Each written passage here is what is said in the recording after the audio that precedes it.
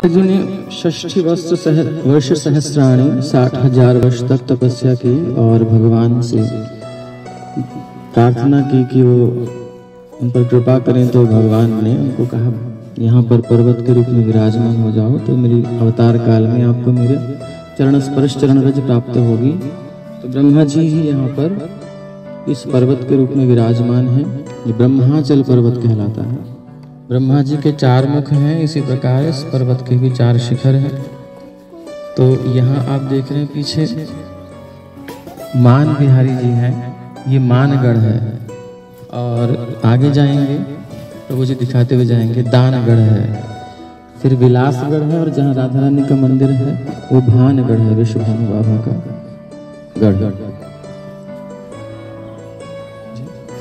अच्छा तो और ये मोरकुटी, यहाँ भगवान की सब लीलाएँ हुई हैं।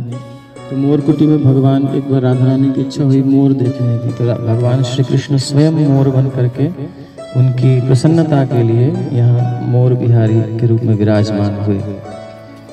ब्रजमंडल में आप आए हैं तो यहाँ प्रेम की भूमि है। काम और प्रेम बहु अंतर। चैतन्य महाप्रभु ने कहा है, काम में, प्रेम में बहुत बड़ा अंतर है। एक निर्मल हेम बिल्कुल स्वच्छ, बिल्कुल तपा हुआ सोना जिसमें कोई दूषण नहीं है। जामुनत स्वर्ण, और एक है लौह लोहा। लोहे और सोने में कोई मैचिंग है? बिल्कुल अलग है।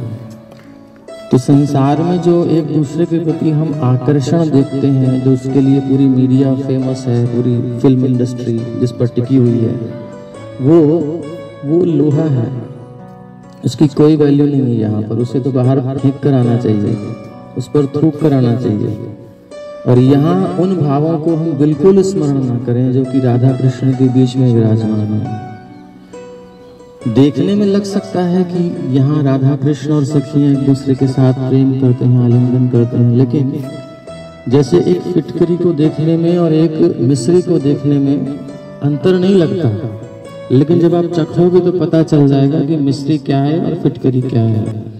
इसी प्रकार संसार में जो कषाय है, कड़वापन है, कसैलापन है, कोई संतुष्ट नहीं है।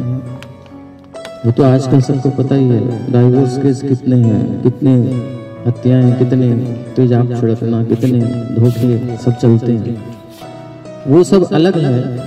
यहाँ उसको कभी भी आरोपण नहीं करना चाहिए, क्योंकि जनरली हम समझ नहीं पाते क्या है। यहाँ प्रेम है।